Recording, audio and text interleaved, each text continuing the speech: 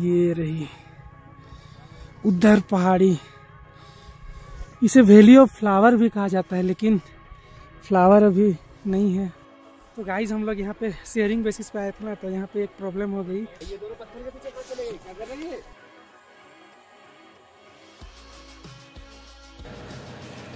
Good morning guys और अभी हम लोग उठ गए हैं, सुबह गई है हम लोग को छः बजे का टाइम दिया गया था, लेकिन साढ़े छः बज गए हैं।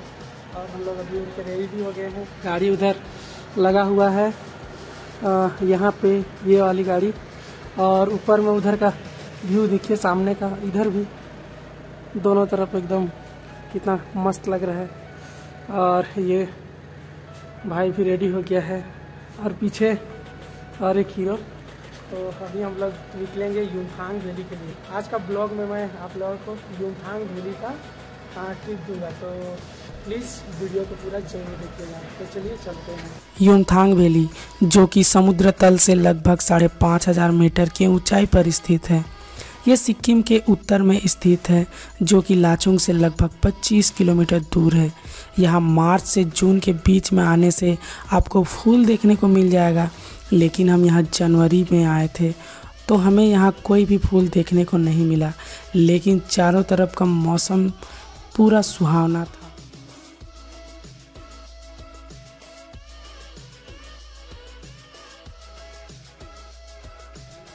तो गाइस हम लोग अभी यूमथांग वैली में और यहाँ पे वैसे तो स्नोफॉल हुआ है रात में, लेकिन बहुत थोड़ी कम देख सकते हैं आप लोग। यहाँ पे इधर कुछ कुछ ये बस थोड़ी बहुत ही है। और अभी हम लोग घूम रहे हैं, चारों तरफ़ का नज़ारा एक बार देख लीजिए। ये रही उधर पहाड़ी।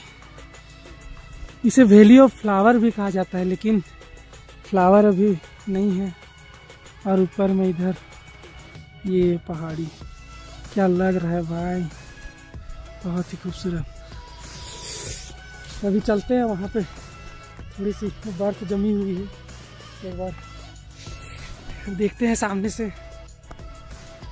और ठंड यहाँ पे उतनी ज़्यादा नहीं है जितना कि वहाँ ये गुरुडोंग मार लेक में थी, उतने, उससे थोड़ी कम है। यहाँ पे, यहाँ तो भाई बर्फ़ जमी हुई है। देख लो ये पूरी बर्फ़ जमी हुई है। उधर भी, आगे भी है उधर। चारों तरफ़।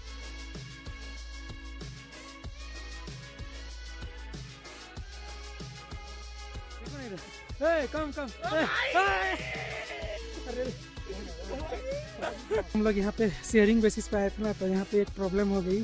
हम लोग चार कोई को तो ज़ीरो पॉइंट जाने का मन है, लेकिन दो कपल दो कपल ग्रुप है।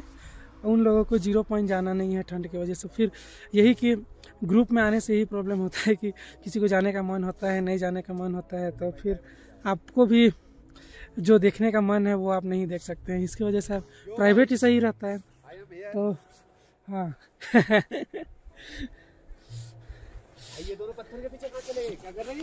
तो भाई अभी यहाँ का घूमना फिरना हो गया, अभी निकलते हैं यहाँ से।